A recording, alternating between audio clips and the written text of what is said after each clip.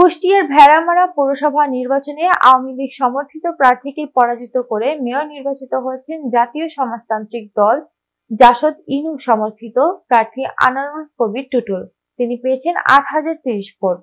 তার নিকটতম প্রতিদ্বন্দ্বী আওয়ামী লীগ সমর্থিত বর্তমান মেয়র আলহাজ শামিলুম ইসলাম ছানা পেয়েছেন পাঁচ হাজার ছশো চৌত্রিশ ভোট। দুই হাজার চারশো সতেরো ভোটে আনারুল কবির টুটুল বেসরকারিভাবে মেয়র নির্বাচিত হন।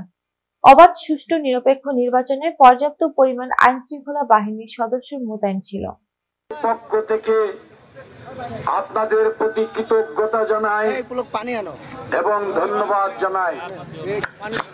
এ বিজয় এ বিজয়কে ধরে রাখতে হবে। এই বিজয়ের মধ্য দিয়েই বাংলাদেশে রাজনীতি যেদিন যেমন এমনি ভাবে পরিবর্তন হয়।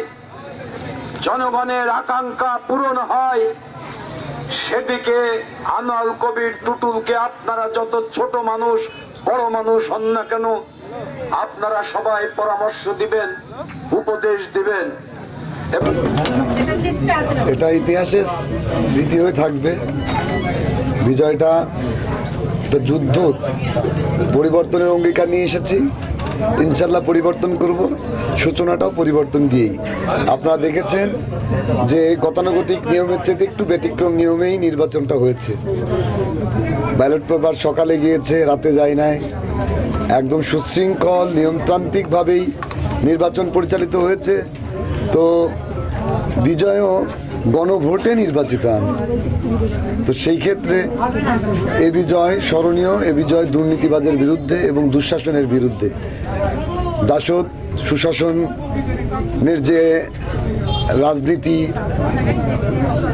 মানে ডাক দিয়েছে, আগামী একবিংশ, গত যে স্লোগান দিয়েছে, তো তারই সূচনা একবিংশ শতাব্দী।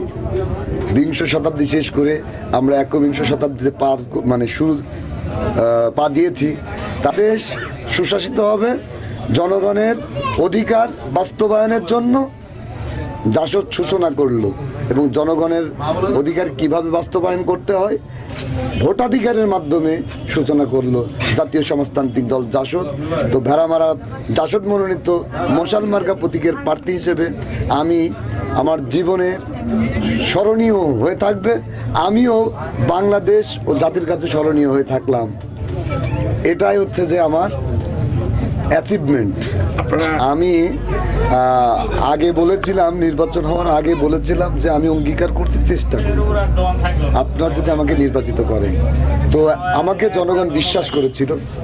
জনগণ বিশ্বাস করেই তাদের মূল্যবান আমানত আমার, আমাকে দিয়ে, তা ভোট চিল দিয়ে নির্বাচিত করেছে। আমি আজকে সরকারিভাবে ঘোষিত নবনির্বাচিত মেয়র। সেহেতু আমি আজকে আবার নতুন করে অঙ্গীকার করছি। আমি যে যে অঙ্গীকার করেছি, আমি শতভাগ বাস্তবায়ন করব। চেষ্টা করব বলব না, শতভাগ বাস্তবায়ন করব।